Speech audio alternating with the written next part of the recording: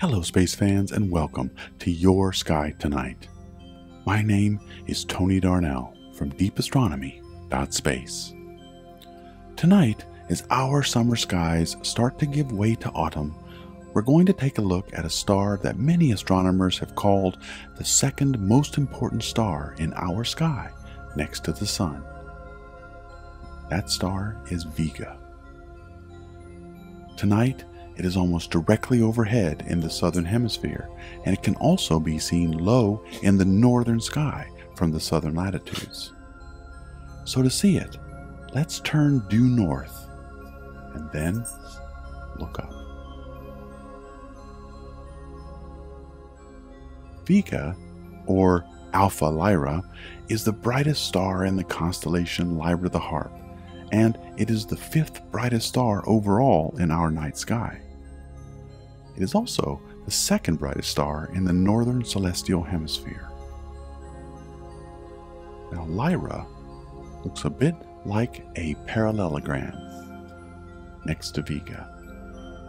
Now, this star is relatively close to us at only 25 light years from the Sun, and one of the reasons that it's been called the second most important star in our night sky comes in part from the fact that Vega was once our North Star.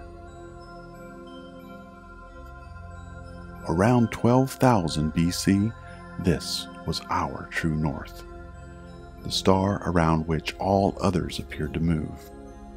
The reason for this is that as the Earth spins on its daily axis, it is also wobbling like a top, making one complete wobble every 25,770 years. Right now, the spin axis of the Earth is pointing at Polaris, but about 14,000 years ago, it was pointing here at Vega. Now, the Earth is still wobbling. It hasn't stopped. It is wobbling at the rate of about 1 degree every 11,000 years, or 328 milliarcseconds every year. So, as the axis of the Earth slowly travels in a circle, around the year 14,000 AD, Vega will once again become our North Star. And that is something worth waiting for, wouldn't you say?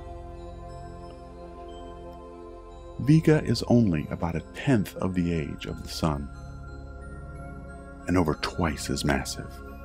Because of this, it will live only about one tenth as long as the Sun, and given how bright this star is and how fast it is burning its fuel, both Vega and the Sun are approaching the midpoint of their life expectancies. Vega is blue tinged because it is fusing hydrogen to helium in its core very rapidly. At only 455 million years old, this star will only last another few hundred million years before it becomes a red giant and eventually a white dwarf.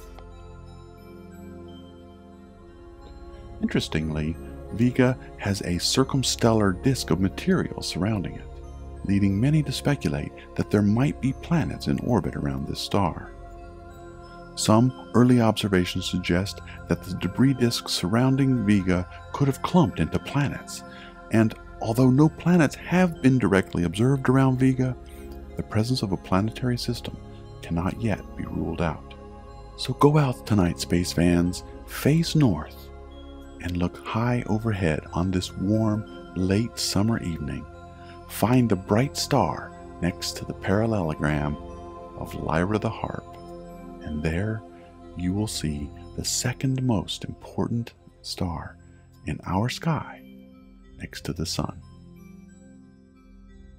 Well, thank you all for watching, and as always, keep looking up.